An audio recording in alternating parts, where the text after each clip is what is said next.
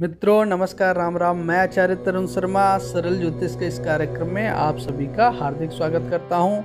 आज हम चर्चा करने जा रहे हैं कार्तिक मास में, अगर हम सभी 16 सोमवार के व्रत को प्रारंभ करती हैं, जो भी माताएँ बहनें विशेष कामनाओं को लेकर के कैसे करना चाहिए, कब करना चाहिए, इन सभी बातों पर चर्चा होगी। साथ ही साथ बाकी जो सोमवार होते हैं, उनसे इसमें क्या अंतर है, इस बारे में भी चर्चा होगी। सोलह सोमवार में सोलह का महत्व है, क्यों ऐसा होता है, क्या होता है, इन सभी बारे में चर्चा करेंगे। नियम विधि पर चर्चा होगी सबसे पहले। हम लोग चलते हैं इस वीडियो के माध्यम से। आप सभी को मैं दिखाने जा रहा हूँ कि 16 सोमवार के बारे में व्रत कब करें, कैसे शुरू करें, आदि जितने आपके सवाल हैं, उन सभी पे क्रमशः हम चर्चा करेंगे। सबसे पहले हम चर्चा करते हैं कि 16 सोमवार जो व्रत है, उसके विधि के बारे में। भगवान शिव का जलाभिषेक किया जाता है, यह अभिषेक गंगा जल और पवित्र नदी के जल से किया जाता है।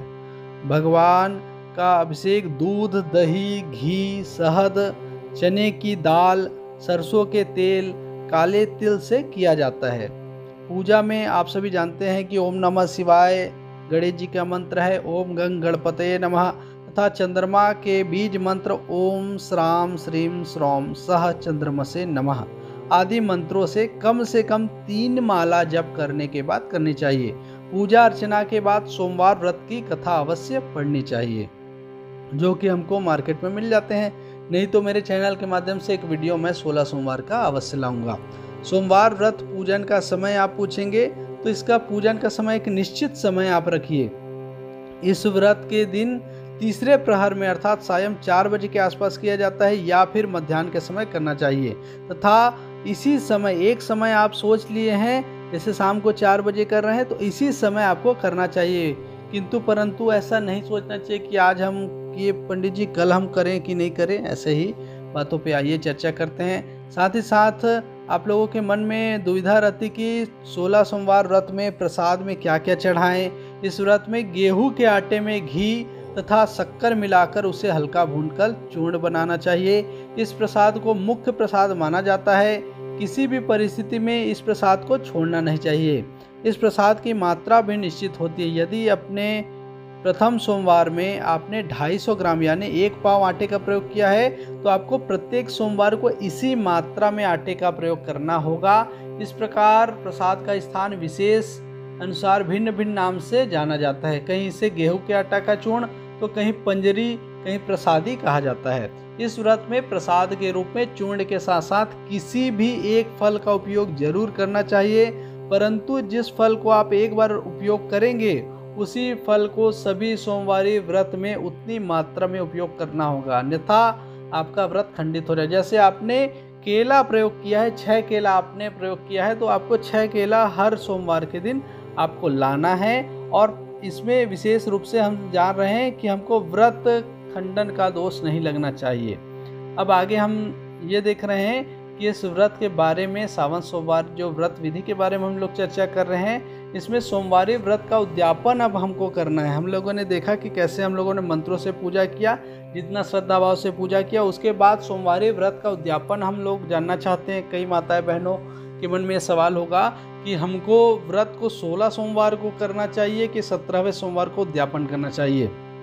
तो मैं बता देना चाहूँगा कि सत्रहवें सोमवार के दिन व्रत का उद्यापन किया जाता है। सोलह तक हम करते हैं और सत्रहवें में हवन या जो भी चीज़ें हैं वो करना ही चाहिए, नहीं तो पंडित जी को बुलाना अवश्य ही चाहिए। उद्यापन भी उन्हीं के द्वारा उसी समय करना चाहिए जिस समय आप प्रत्येक सोमवार को पूजा करते थे। इसलिए समय की महत्ता विशेष हो जाती है। उद्यापन में सवा किलो आटे का प्रसाद विशेष रूप से चढ़ाना चाहिए। प्रसाद को तीन भाग में विभक्त कर देना चाहिए। तथा उपर्युक्त बताए अनुसार भगवान, अर्थात तीन भाग में रखने के बाद तीसरा भाग जो होता है, उसको हमको ग्रहण करना चाहिए। पहला भगवान जी का, दूसरा विशेष रूप से पंडित जी का और बांटने के लिए और तीसरा हमको ग्रहण करना चाहिए। उद्यापन में दशांश जप का हवन करके सफ़ेद वस्तुओं का दान करना चाहिए, जैसे चावल, श्वेत वस्त्र, दूध, दही, बर्फ़ी, चांदी और फलों का दान करना चाहिए।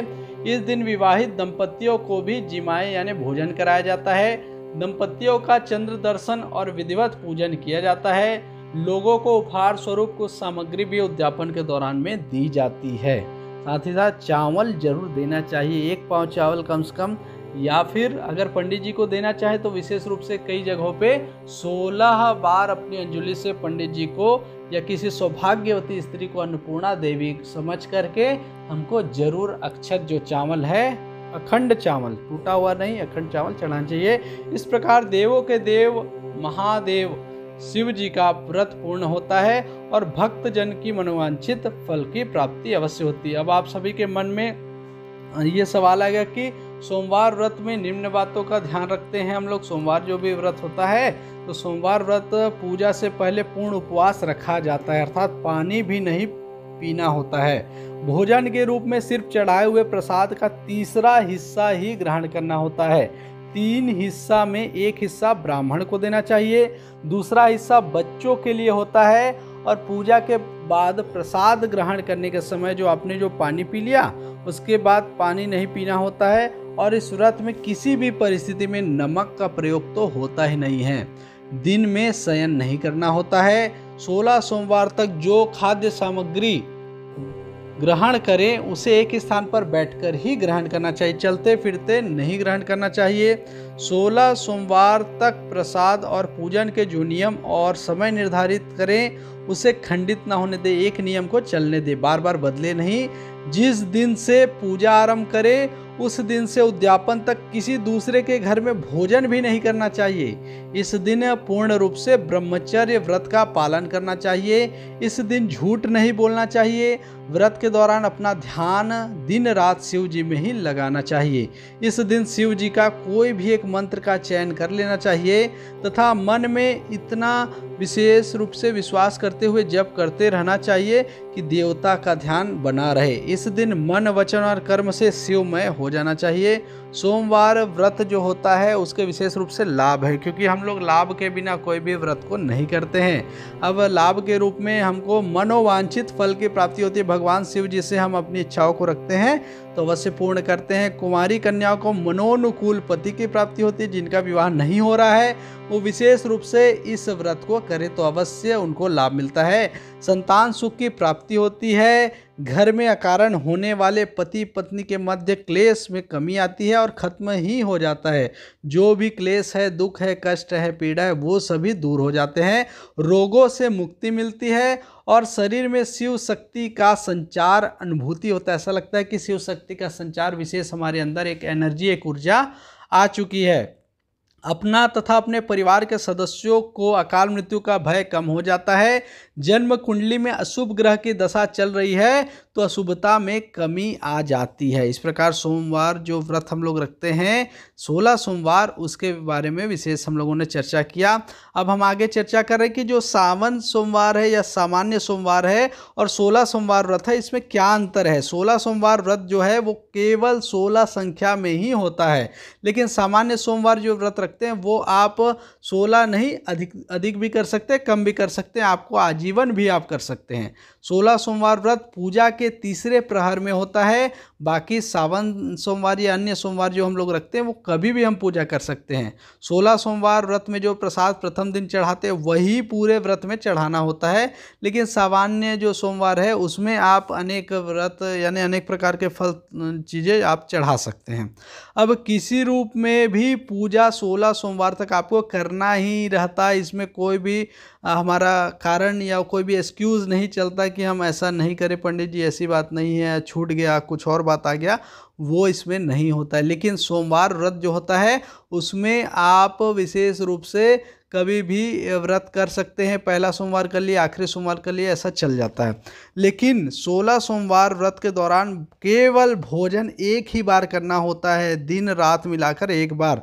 लेकिन बाकी सोमवार में ऐसा कोई कठिन नियम नहीं है, आप चाहे तो निर्जला रखें। तो इस प्रकार से ये वीडियो आप सभी को कैसा लगा, इसको मुझे अवश्य बताएँ। साथ ही साथ मेरे चैनल में बने रहें। आप सभी को नमस्कार, राम राम, जय सिया राम।